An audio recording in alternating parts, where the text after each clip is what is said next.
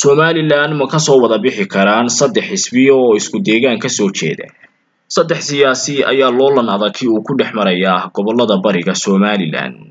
waxaana ay kala hogaaminayaan xisbiga wadani urur siyaasadeedka ka ah iyo xisbiga kulmiye. Maxamed kaahin xirsi cali xaaji xasan iyo maxamuud xaashi ayaa mid waliba uu ku mintidayaa sidii uu u heli lahaa codka deegaankiisa. Haddaba saddexdan siyaasi saamayn nooceeya ayay ku kala leeyihiin gobollada bariga maxaase laga odorosi karaa? Sida ay u kala guulaysanayaan. Warbixinteennan ayaynu ku falaqaynaynaa.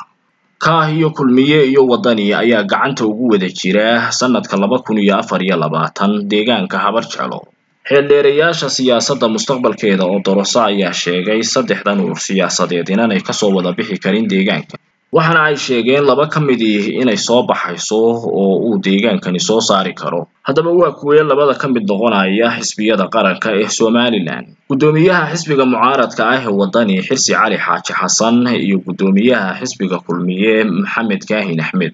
ayaa waxaa loolan adag iyo hirdan xoogani uu ku dhex mari doonaa magaalada burco ee xarunta gobolka togdheer oo ay kala jiidanayaan taageeradeeda labadan siyaasi ayaanay sahlanayn saamaynta ay ku leeyihiin deegaamada tani marka loo eego oo doroska siyaasadana waxa ay ka heli doonaan labaduba codad badan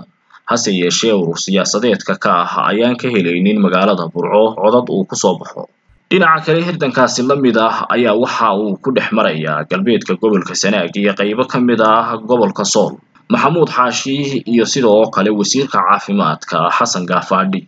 gaafaadhi ayaa ah mas'uul afgaaban hase yeeshee aragti siyaasadeed leh waxaana uu ku cayaarayaa kaadhka xisbiga kulmiye. Marka la eego taageerada siyaasadda ayaa laxdu waxa ay ugu xidhan tahay magaalada garadag oo laga go'aamiyo codka beesha bariga burco.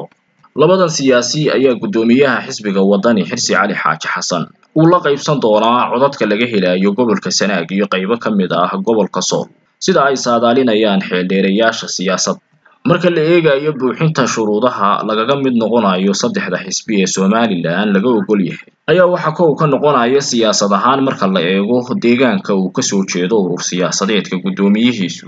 Inuu ka soo bixi karo boqolkiiba boqol wadani ayaa noqonaya xisbiga ugu horreeya ee soo baxa marka loo eego taageerada uu ku haysto gudaha somalilan xisbiga kulmiye ayaa isaguna haysta taageerayaal guun ah oo aan lahayn werwer iyadooy sidaa tahay marka la eego kaadhka siyaasiga ah ee haatan la cayaarayo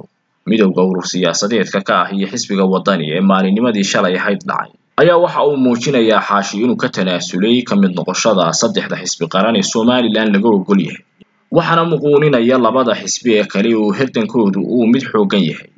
Labadii kun iyo toddobiyo tobankiina uu loolan adagi ku soo dhex maray gudaha somalilan waxaana uu codadka deegaankani u qaybsami doonaa labadan urur siyaasadeed iyo soo saaristooda haddaba xaashi muxuu dhaafsaday hankiisii iyo ka mid noqoshada saddexda xisbi qaran ee somalilan laga ogol yahay warbixinaheenna soo socda ayaynu kusoo gudbin doonaa